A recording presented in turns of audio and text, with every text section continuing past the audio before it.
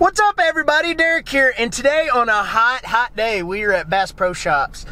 We're going to go inside of here to look at some boats, but not necessarily for myself in the future to possibly buy. But I was posed a question by one of my subscribers what I thought might be the best boat for you know, conversions on the weekends. Whereas you could go on a Saturday and go fishing with your son or daughter or whoever, and then Sunday, you might go out there and decide, hey, it's a family day and hook up a rope and tube behind it and wakeboard behind it and all that stuff. So, kind of like a fishing ski type of a boat. What does Bass Pro have to offer and what could be converted to be something very similar into that category? It could be kind of a fish one day, family boat another day, or all in the same day. Who knows? But I figured I'd go in here and check it out and see what my thoughts are well, what might be? I already know a Tahoe is probably going to want to be one of the best, but could it be a V-Haul? Could it be a tracker, but maybe they're a little more underpowered? I don't know. Let's go inside and check them out in there. All right, I just walked in here and it is not a huge selection. This one's sold, that one's sold, that one's sold, that one's sold, and that one's sold. So pretty much everything what we're looking at in here is pretty much sold. So not a whole lot of selection as the last time that I was here, but uh, if you're looking for a fishing and a family boat, these V-Hauls could be a consideration opposed to that that is actually that Tahoe over there that you could actually put a trolling motor on the front. But let's look at it. All right.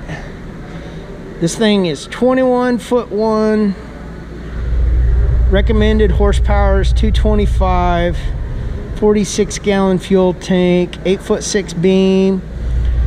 The whole thing weighs 4600 pounds and can hold 10 people. That's pretty good pretty good sized boat. But look at that price tag.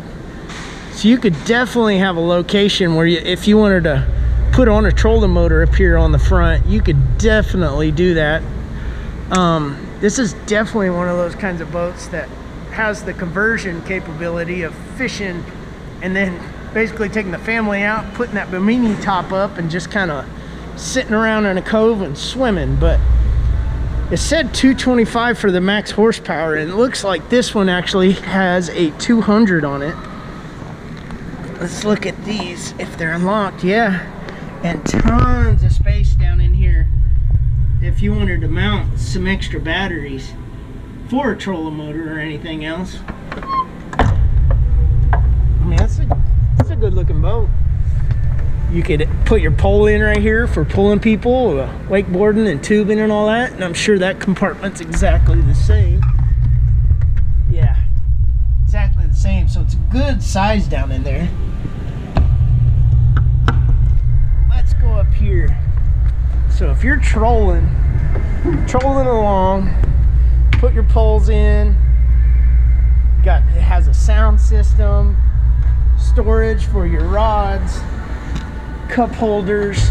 It's got a what is that kicker sound system? Here's your live well.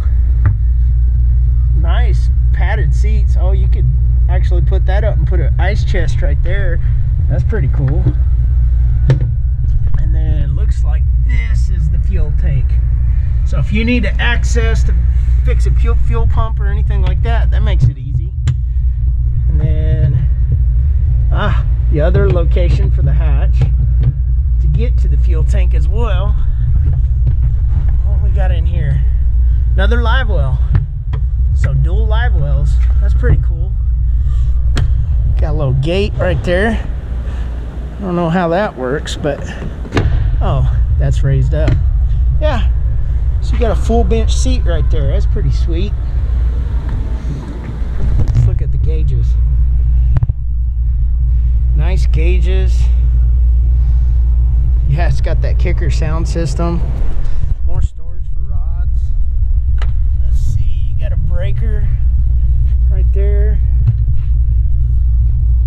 Whatever you want to store in there. Another hatch down in here. Oh man storage way down in there. So it drains out in the back. You could definitely put some rods down in here. I need to clean that out.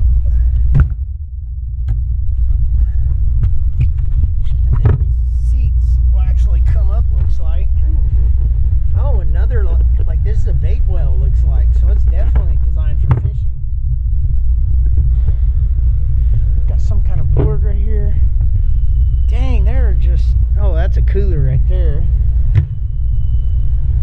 Tie offs, kicker sound system, lights. I mean, this thing's pretty sweet. Same thing on this side. Is this? Oh, this is not a live well. I called it a live well on the other side. It's actually a cooler. And then you got more storage right here.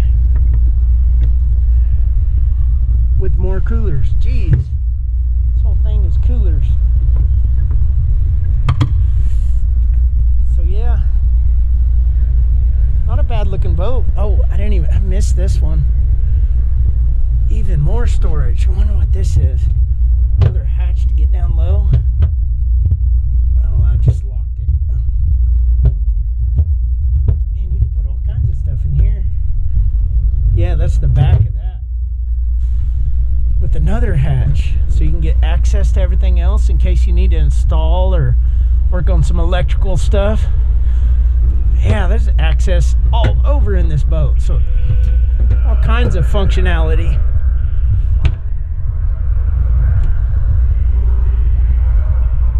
Definitely a cool boat. Even more storage for just about anything up here. Pretty sweet. Put a trolling motor off the front. Definitely a pretty cool boat. Very versatile. I didn't even see the ladder. I walked right over it. So you can get up and down. I bet this boat moves pretty quick on the water. You could haul 10 people. Cool little boat. All right, now to compare. We got a red V-Haul here. Could this be made into a fishing boat, family boat? If you were to buy one new. I like the price tag a lot more. 27,000. This V-Haul is 17,750 horse max, 25 gallon tank, 8 foot 1 beam, which is actually the same size beam as that Tahoe over there. Weighs a lot less. The whole thing's right at 3,000 pounds and it holds six people. So depending upon how many people you're going to consider as a family, if you're taking it out and then transferring over and going fishing, but looking boat and it already has the trolling motor mounted. And let's see, this is a 55 thrust power drive. And I believe this one has the GPS capabilities and the GPS lock, which is pretty cool. Not a bad looking boat. Let's see, what size engine does it have? 150? Oh yeah, you could tube or wakeboard or ski or anything behind this thing if you absolutely wanted to. Look at all these locations for seats. You could put people all over back here. There's not really a bench seat for it, so it totally makes sense, but uh, is this a live well or a cooler? Looks like a live well to me. Yeah, it's a live well because it's plumbed in right there. Trays for putting in for the trolling motor starting battery. This side should be the other, yep, live well. So that might actually be the bait well and this is the live well possibly. You got your straps for putting your rods down side storage for anything that you might need. Then the step. Oh, that's a crazy big step. Uh, another. More access for more batteries down at the bottom. You can put more than just one battery down in there. Let's see if it picks it up. I can't see back in there. It's so dark, but there's quite a bit of storage if you absolutely needed to put stuff in there. But that this is also rod storage so it goes all the way to the front that's a pretty cool option that they've got for this thing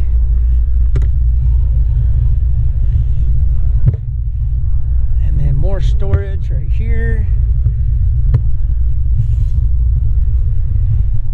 Uh, another live well.